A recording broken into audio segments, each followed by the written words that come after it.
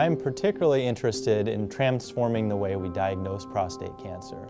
We've been basically doing the same thing for the past 30 years, that is using ultrasound guidance to guide prostate needle biopsy. Ultrasound works well for finding the prostate, but does not work well for identifying cancers within the prostate.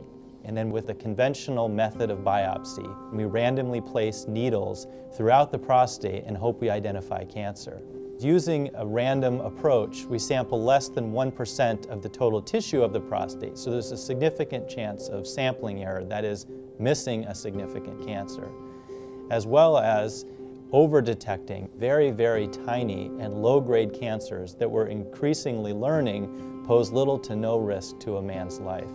My interest is using new technology, that is prostate MRI, to identify cancers and then moving on and using that information from MRI to guide biopsy detection.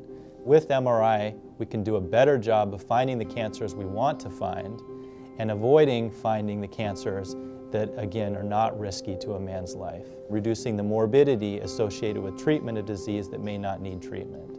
The way we're doing these biopsies is that a man will get an MRI prior to his biopsy, and then he comes into the clinic.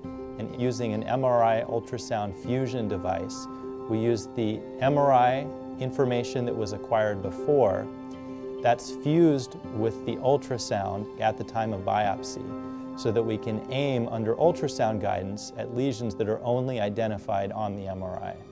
The question about where to get a prostate MRI is critical because prostate MRI is a difficult test. It's critical that the equipment is top of the line and the radiologist knows what they're looking at. So it's very important to go to a center of excellence in prostate MRI to have a meaningful result that we can be confident about to help dictate further care.